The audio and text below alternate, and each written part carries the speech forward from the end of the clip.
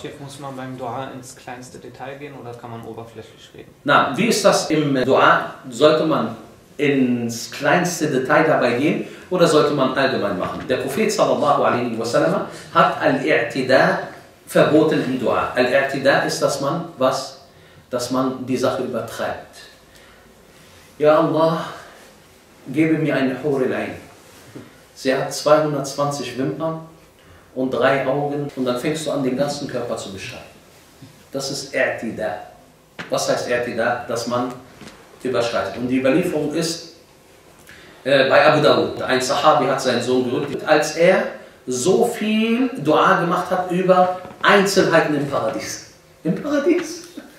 Äh, auch was du nicht machen darfst, Al-I'tida, ist, einer hat dir Unrecht getan. Zum Beispiel einer hat dir 50 Cent geklaut. Okay?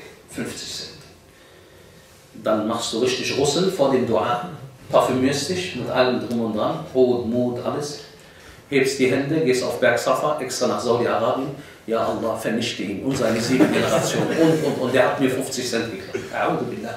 Das steht nicht im, im was? Im Verhältnis. Deswegen ein Ertida muss man aufpassen.